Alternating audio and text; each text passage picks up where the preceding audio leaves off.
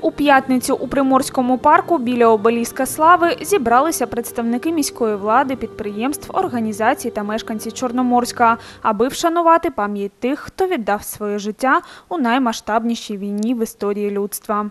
Друга світова війна почалася 1 вересня 1939 року і тривала 2194 дні до 2 вересня 1945 В ній брала участь 61 країна.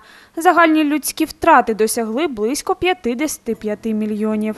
У цій війні загинув кожен п'ятий українець. Тих, хто віддав своє життя у самій кровопролитній війні, присутні вшанували хвилиною мовчання. Завершився мітинг покладанням квітів до обеліска слави.